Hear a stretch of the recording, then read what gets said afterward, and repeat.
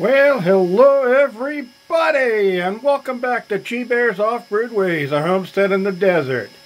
And yes, it's the day. Today is the day. It uh, only got up to 99 degree, degrees today, so I took advantage of the 80 degree temperatures this morning and got out here and moved things over. So it's still all connected to the 12 volt system, but I got the SunGold power all-in-one up here in place. Now this is a 6.8 uh, kilowatt and uh, I noticed a few difference from the um, 8Ks that I installed and that is first of all these connectors and these connectors are all up front now. They were all the way in the back on the uh, on the 10K that I did. So um, it's a lot easier to get to them where they are here. You don't have to bang your knuckles against the back of the box to try to get the wires into place. Also, before I even brought it in here, I laid it down on that shelf right there with the top facing up so that I could see inside of each one.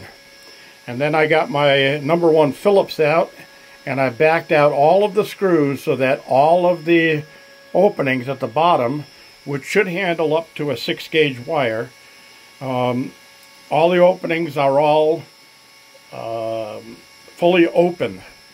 So I won't be poking a, blindly poking a wire up in there and going, what's it hitting? God, God dang it. I should be able to just put the wire in there and shoot the screw down and uh, that'll be it. Now, on PV1 and PV2, normally I would have a switch um, with a uh, breaker on it underneath here. But, guess what? SunGold Power thought of that. So they put a switch right underneath here, a little rocker switch. That's what those wires are right there. And those are the uh, to shut off the PV. So it's in the off position when it's pushed to the back and when I rock it forward it'll be in the on position. And I'll verify that by looking underneath there because I'm about to pull this out of here. But uh, in order to do that I got to shut my power down.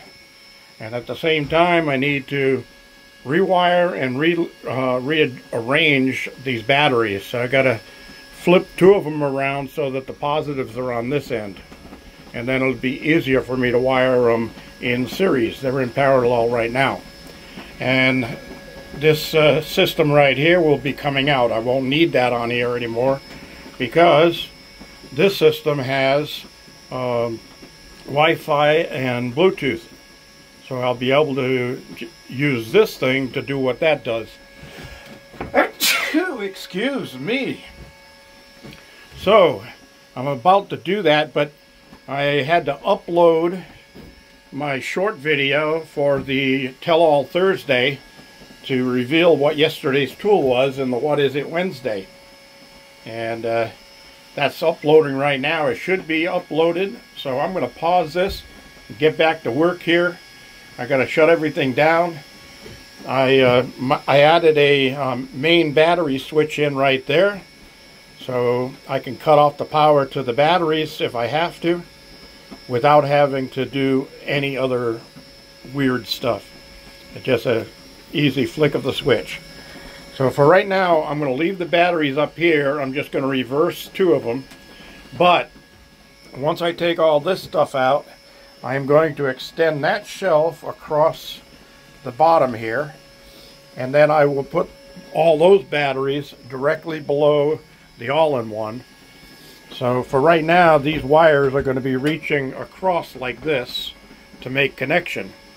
And I don't like that. So don't, this stuff will all end up down there where I can uh, have the wires going straight down the wall and clean this up a little bit.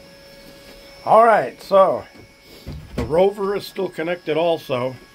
But um, I'm going to be doing some modifications on the wiring coming in for the solar panels because those two black wires up there that come in, a positive and negative, Those are coming from my 305 watt panels, the six of them out there. And those are right now in series parallel. They're going to be switched over to series. So I will be going outside and doing some modifications. Now you notice I got extra wires connected up to those coming out.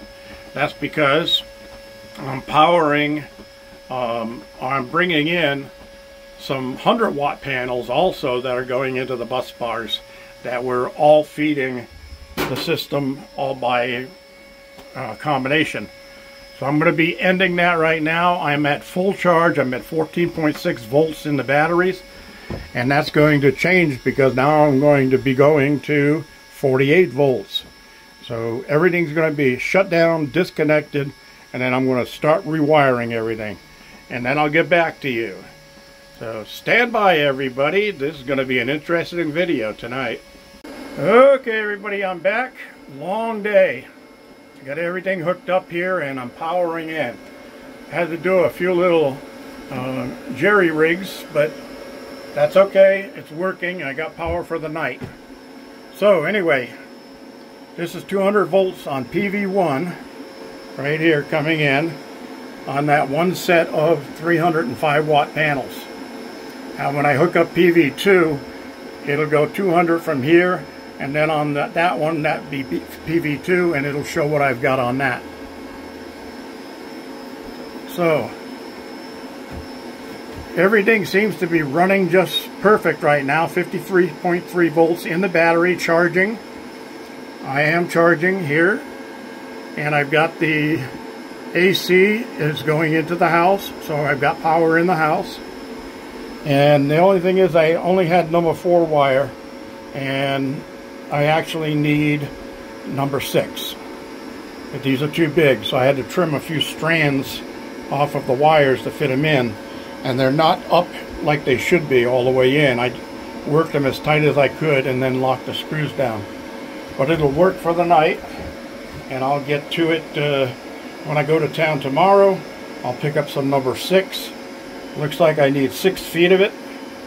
And I want a J-box down here for all of these connections, the wire nut connections to be inside of a J-box.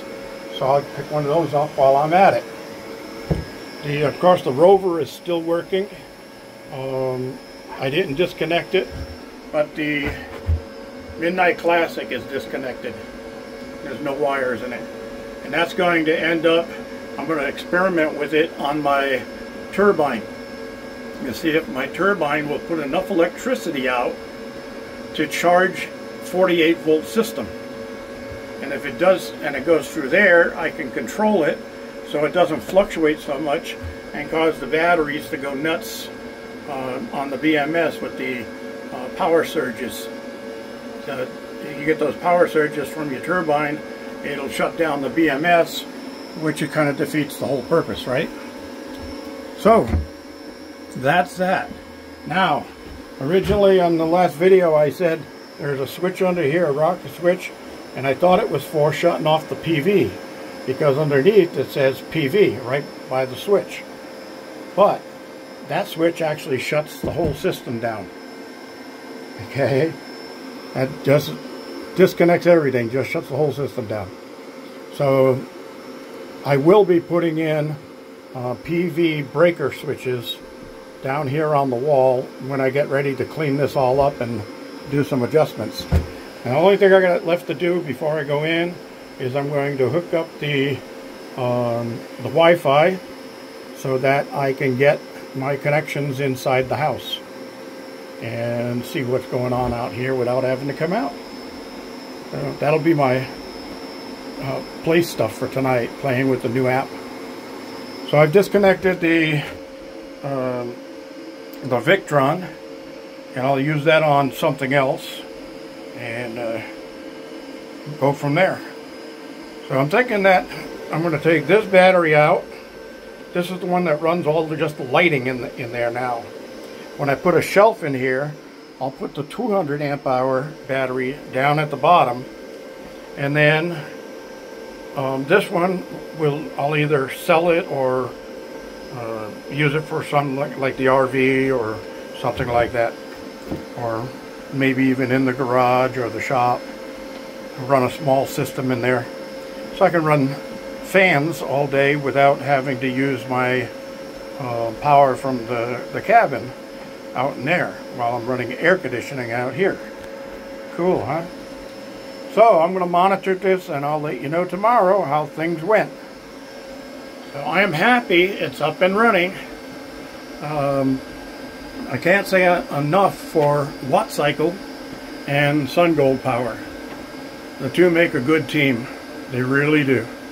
This is G Bear reminding you, thumbs up, hit that thumbs up. Don't forget to subscribe. Subscribe, subscribing is free.